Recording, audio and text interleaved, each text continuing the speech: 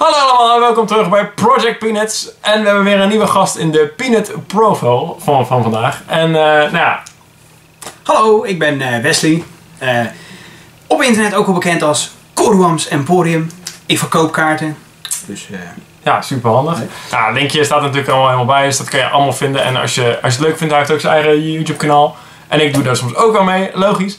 En ik dacht, nou, eh, deze keer ook kan ik natuurlijk niet, niet interviewen. Dus vandaar zit ik eh, nu gewoon lekker hier met dezelfde vragen als de vorige keer. Vorige video kan je ook terugvinden hier en daar.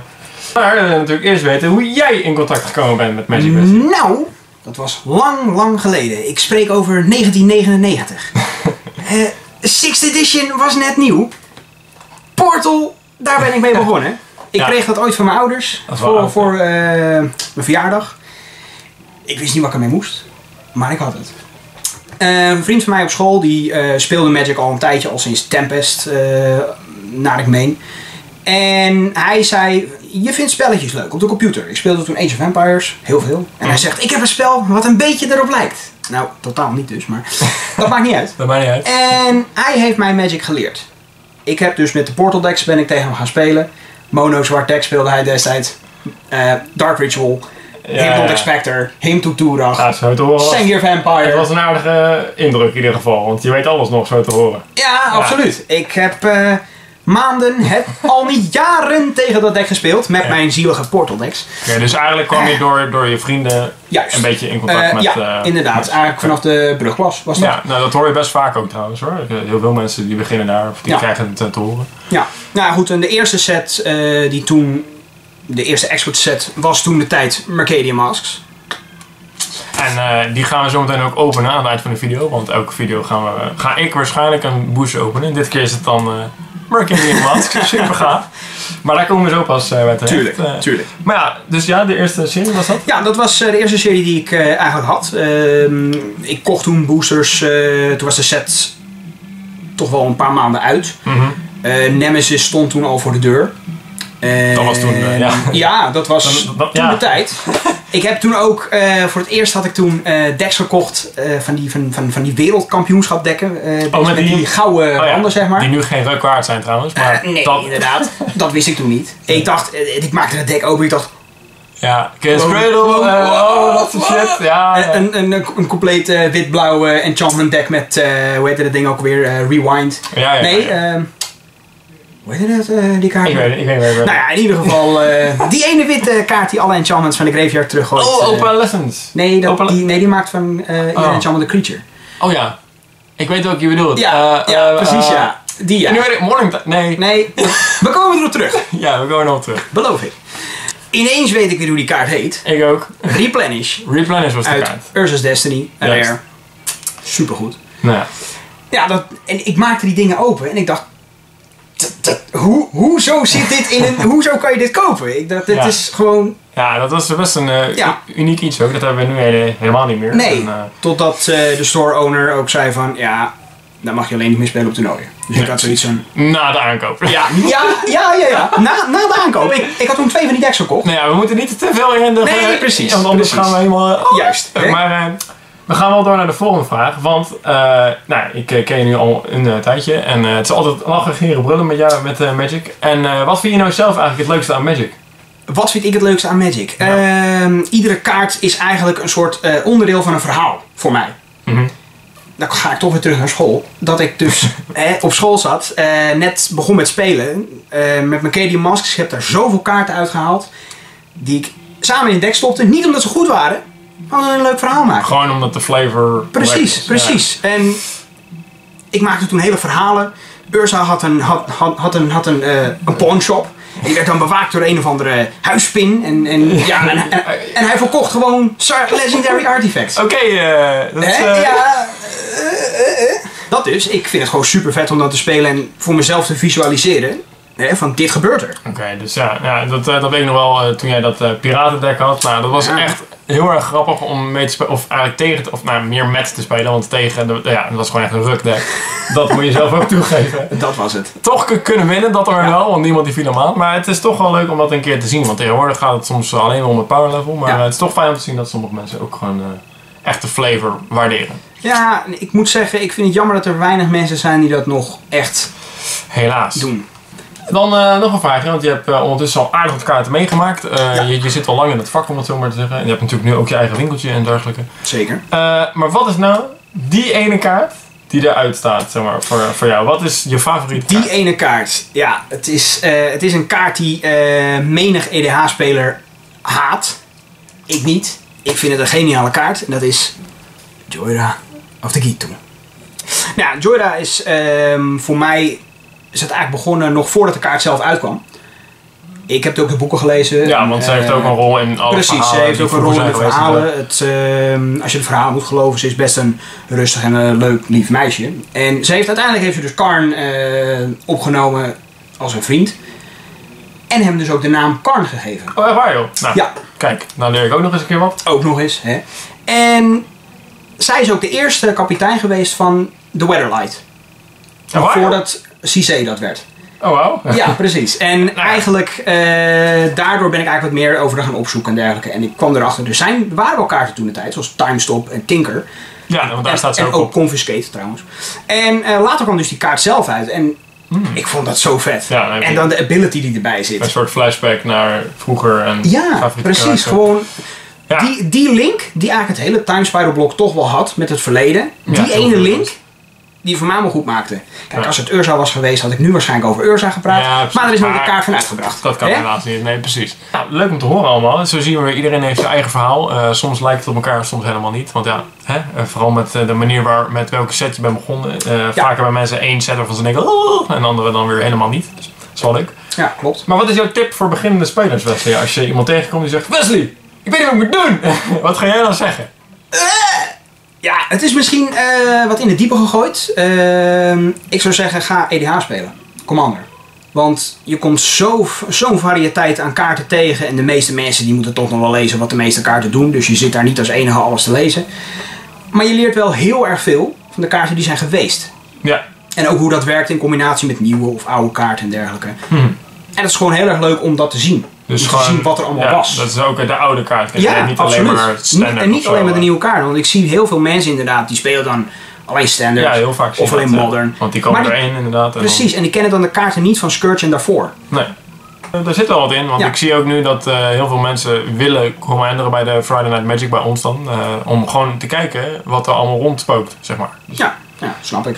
Ja, een Peanut Profile is niet eh, compleet zonder een of andere booster opening of eh, iets met Magic. Dus we gaan deze Mercadian Mask booster proberen te openen in, in de lucht. Eh, jij hebt Squee vooraan. Ik heb Squee, Golden en Bob. Volgens mij was dit Catherine Slaver. Ja, Catherine Slaver. Ja, Ja, dat is een mercenary zoekkaart. En nou, Squee spreekt voor zich. Als, je- is- als je Squee niet kent, dan... wat, wat doe je hier nog? nee. Toch? Nou, laten we maar eens even kijken. Oh, met de openen, of- wie Ja, doe maar. Ah, Oké. Even kijken. Ja, Oh, ik, ik, ik zie dat ik begin met uncommons. Ja, ik ook. Dus wat gaan we doen? Even de onderste vier naar boven. Zodat we die eh, niet zien meteen. Dus als het goed is, ja. Ik begin met een... eh, Ja, Common. ik heb ook een common als eerste. Oké, nou, even kijken. Zo, dit is wel goed ongeveer. Mhm. Het wordt wel even een beetje lastig. Rushwood Herbalist. eh, regenerate volgens mij. Ik laat ze wel even gewoon zien eh om Ja, precies, Eh, ja. Deze is wel vet trouwens. Begin jij met je booster of Ja, het om en om? Eh, ik heb eh, een Moment of Silence. Zat ook eh, in eh, mijn weekly booster van eh, Mercadian Mask. En hetzelfde geldt ook voor Diplomatic Immunity. Die ook erg vet is trouwens. En wauw, goede kaart. nog een goede comment. Snuff out. Leuk kaart. Zeker niet verkeerd. Een Battle Rampart. Geeft haste. Battle Rampart. Leuk. Een of andere Gar. Zat ook in mijn weekly booster volgens mij. Grappig om te zien dat die eh comments een beetje hetzelfde. Terwijl het toch een grote set is. Oh, ik heb hier een... eh, Een disenchant op een stokje. Disenchant en een brainstorm gehad. Oh, oh. Ja, niet foil helaas. Nee. Zou kunnen. Ja, die kan er inderdaad ook nog foil in zitten. Dan hebben we wel een knaller. Eh nou, Mercenary. Niet zo heel boeiend. Karen Sniper. Sniper. Super vet. Goblin. Everglade. Oh, Silverglade. Even Silverglade. Silverglade Elemental. Ja, je weet kaart eh, goed te brengen. Fountain of Cho. Ja, Ook leuk met eh, storage counters. leuk, leuk, leuk. Cure and Negotiations, gaaf kaart. Pinkt voor elke creature die je bounced. Een eh Pretenders Clean. pretender... Wow, deze kaart ken ik helemaal niet gewoon. Whenever enchanted creature becomes blocked, tap all lands defending player. Ja, oké, daarom, daarom ken ik hem niet. En de rare is... Oh, dat is op zich wel vet. Dat is een hele vette commanderkaart eigenlijk. Thieves Auction. Set Zo. aside all permanents. You choose one of those cards and put it in the play tapped under your control. Then your opponent chooses one. Uh, repeat this process. And oh! Dus iedereen krijgt van alles en nog wat. Ja, dat is wel leuk. Nou, Ultimate Chaos. Ik vind het vet. Ik denk dat ik meer heb aan de comments in deze booster, maar... Maakt net. Nou ja, goed, je hebt een brainstorm. Met een mooie art. Ja. Vind ik. Nou, ik ben benieuwd. Dus. Eh, nou goed, ik begin dus met een, eh, een box smuggler. Dat is een, eh, een Swampwalk eh, 2-2 mercenary. Dus je kan hem zoeken. Met die andere Is niet kaartjes. En Devotion 2. Niet heel veel verkeerd. Furious Assault. Ik, ik herinner me dat ik deze uit de allereerste booster een keer ooit foil had. Dus mijn allereerste foil ooit. Best leuk kaart. Ja, whenever you play a creature spell, dan doet hij één schade aan Misschien. een speler. Misschien een snelle dex. Een championnetje. Nou, niet verkeerd. Giant Caterpillar. Ja. Ja, die ken ik ook nog wel, ja. Mag je hem sacken krijgen en een eh botervlieg. Nou ja, dan maar snel naar de volgende. Cave Sense. Hm. Ik was nooit zo gek op deze kaart. Krijgt een creature plus 1 plus 1 een Mountain Walk. Op zich, tegenwoordig zie je niet heel veel Mountain Walk meer. Alabaster Wall. Een rebel. Mag je rebels... Je oh nee, je mag priv- eh, preventen. Of had deze nou wel of niet een errata dat hij een rebel was? Waarom zou dit in godsnaam een rebel zijn? Omdat er heel veel rebels in zitten. Het is een muur. Eh, een, rebellerende muur. Hè? Die snel in terwijl Dehydration. Deze kaart was wel leuk. Daar Draftkaartje. kan je, creature, of dan kan je een creature niet meer laten onttappen. Een vette kaart. Peatbog. Depletion. Inderdaad, depletion counters. Eh, hij komt erin met twee counters. Eh, de kaart had, eh, zag een, eigenlijk een cycle van vijf. Ja. Iedere kleur had er één. Heel Dat simpel, eh, remove een counter, krijg twee mana van de kleur van welke het is. Totdat die eh, op zijn en dan moet je hem sacrificen. Maar toch twee maanden sneller. Dus, eh, Precies, ja. Bo buoyancy? Buo buoyancy? Juist. nou ja, een creature krijgt flying. Je mag hem ook spelen als zijnde flash. dat is wel relaxed. Dat is wel heel cool inderdaad. Cavern Crawler. Creepy crawler. Insect. Mountain Walk en je kan hem oppompen. Hé, hey, dat is een insect. Ja, dat is een insect. Oh, mag ik die? Voor mijn insect deeldeck? Yes! Eh Deepwood Drummer. Hartstikke leuk. Niks meer aan doen. Volgende kaart. Task Force. Dit is wel een rebel. Ja, inderdaad. En als deze wordt getarget door een spel of, of ability, krijgt hij plus 0 plus 3. Op zich, Kan leuk zijn. ja, Met die redirect eh, kaarten kan je hem heel hoog maken en dan sacrifice of zo. Oh, de een uncommon. Larceny. Ik weet dat deze kaart, was vroeger was dat echt zo'n leuke kaart. Als een creature common damage doet aan een speler, moet diegene een kaart discarden uit zijn hand. Is het niet een rare geworden in 8th edition of zoiets? Ja, klopt. Ik Later inderdaad gereprint als een rare.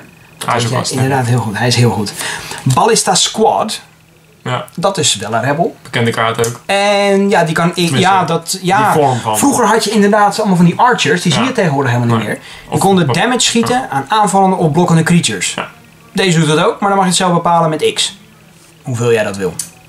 Is niet verkeerd. Nee, zeker niet verkeerd. Ik, ik, ik, ik weet dat ik ooit een archer deck had gemaakt. Leuk joh. Gek huis. Magistrates Veto. Oh, sideboard. Enchantment. Ja. Witte en blauwe creatures kunnen niet meer blokken.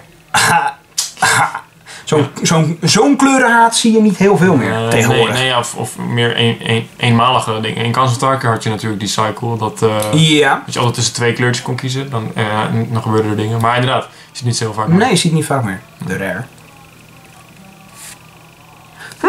Oeh, die art is wel Extortion. Dat is inderdaad een hele vette art. Een soort, wat doet dit even? Wacht even. Doe ik het Oh, dit is eigenlijk gewoon een soort dubbele Een dubbele duress. duress. Of- slash nee. mind rot. Nee, je mag in ieder geval eh, in iemands hand kijken en twee kaarten discarden. Super vet. Super vet. Ik ben er blij mee. Nou ja, la- laat weten welke booster jij cooler vond. Eh, ik lees het graag terug. Ze waren allebei niet echt je van het. Maar... De nostalgiefactor. Nostalgie is eh, aanzienlijk. Ja, ja, absoluut. Nou, so much voor deze Peanut Profile. Eh Wesley, ik mag je bedanken dat je mee wilde doen. En, nou, Dankjewel dat je me hier wilde hebben. Precies, ja, In tuurlijk. mijn eigen kamer. Ja, dat ook nog eens. En eh, gratis sponsoring. Ook nog. Eh, maar eh, ja, dankjewel voor het kijken. Als je het leuk vond, laat wat achter. Vertel wat jij ervan vindt. welke flavor jij vet vindt. Weet je wel. Je weet wat je moet doen. Duimpje omhoog als je wil. Heel graag natuurlijk. En eh, subscribe eh, bij ons. En eh, sst, we zijn bezig. Hoor je dat? Ik hoor hebben ons altijd nodig. Er zit een wesp onder die booster. Goed. En later. Arrivederci.